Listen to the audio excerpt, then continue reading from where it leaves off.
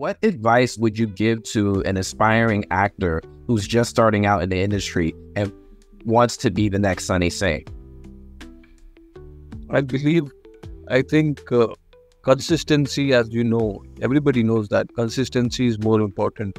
And if somebody is starting with it, they should understand that if you might get rejected, you might fail. But even if you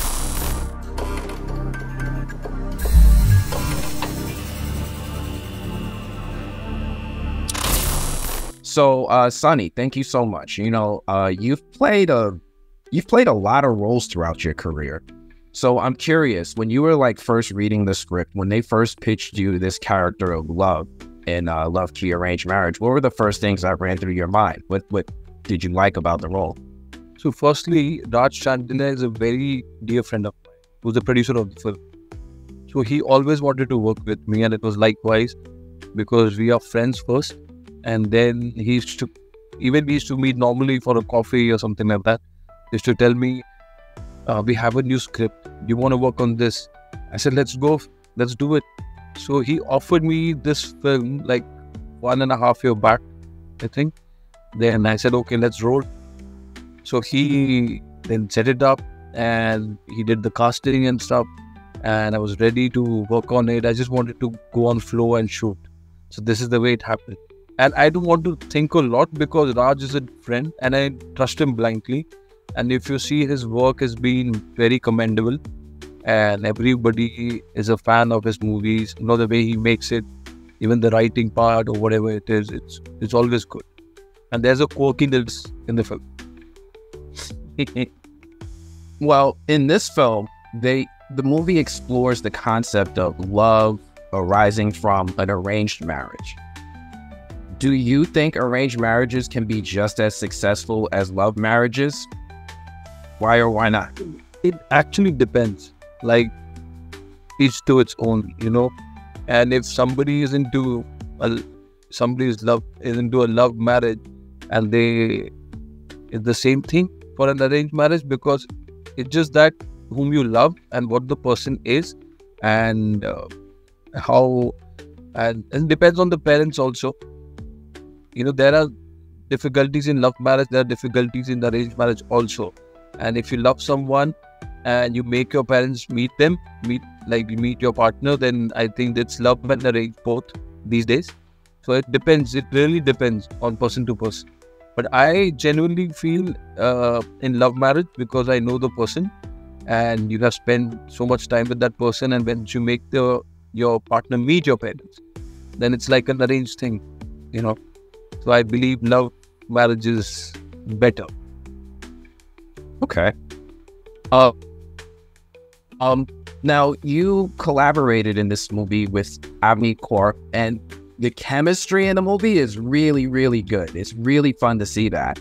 And she, I got to speak with her the other day, and she talked a little bit about your relations behind the camera, where you guys were able to you know, you both have the same background. You're able to speak Punjabi. You're able to speak a different language. Uh, how was it like building that rapport with Avneet from your perspective? So the very first day when I met her, she and me were not talking to each other because of the song shoot.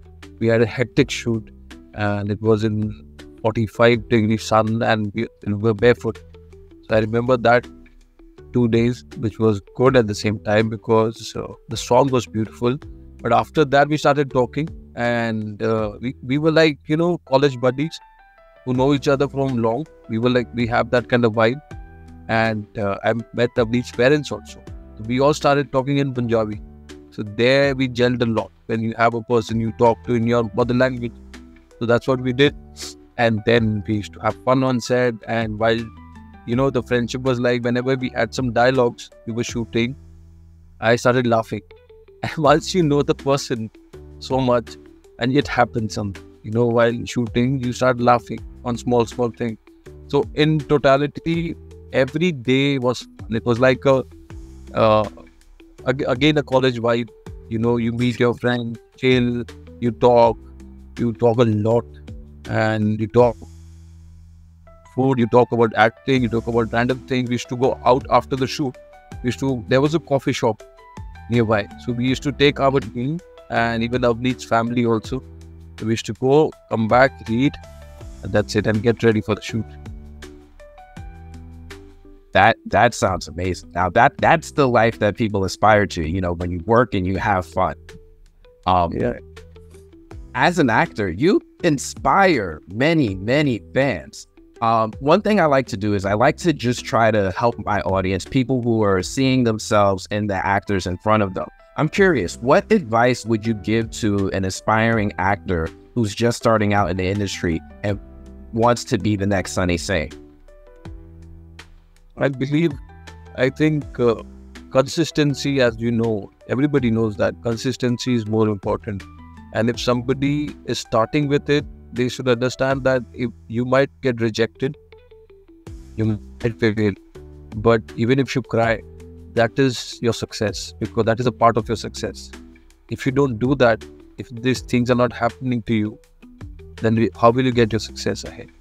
Because the journey is long it can be short it can be like in a year somebody gets a movie but then there is again you need to maintain it you need to understand the craft more. You need to take out time for your craft in a day. So whoever does it and whoever who, whoever is mentally strong with time anyone can make it. And it's just not me. You know there are people who are like bigger actors out there in this industry who have started from scratch.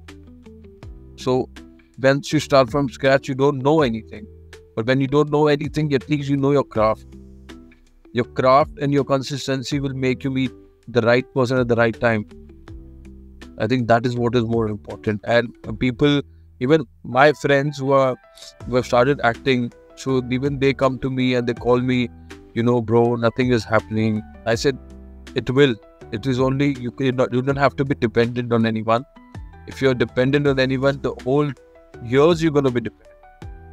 If you're confident and you have, you have that confidence in you about yourself that you are getting better and you are giving your time on your craft at the same time, you know, even if you cry, it's okay. Everybody everybody does. But you need to be mentally strong. Then then only you can make it. This is what I this is what this is the best advice I can give. That was beautiful. Thank you. Thank you. I, I, I felt that. Um, again, I'm sorry. I, I know you're really busy. I, um, this will be my last question. Um, beyond Luv Ki arranged marriage, what, what kind of roles are you hoping to tackle in the future? Are there any specific genres or any types of characters that really interest you? I really want to do a biopic, like a warrior bi- biopic, because I think uh, I'm I know my action bit. I'm very good in action also, so I really want to focus on that because I would love to do romantic comedies or action comedy or you know an unconventional film or a serious film. But if you talk about biopics, I really love. And a warrior biopic is I'm looking Awesome. Awesome. Thank you so much for your time. I really appreciate it. Thank you so much, uh, Sunny Singh, Anthony with the Movie Blog. I hope to get to speak with you on your next project. Absolutely, we love to.